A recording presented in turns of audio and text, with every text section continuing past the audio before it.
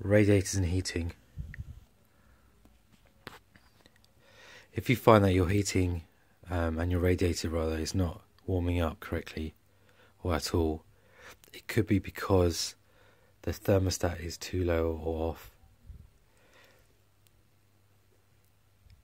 So first, the first thing we, need to ensure is that the heating is actually on. Um, if you see the other video regarding how to turn the heating on from the thermostat, the heating has to be switched on via the thermostat first.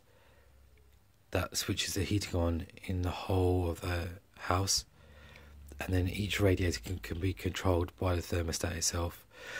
As we can see with this radiator, it's on the frost setting, which is a lower setting. This is this could also be a zero on your on your radiator thermostat.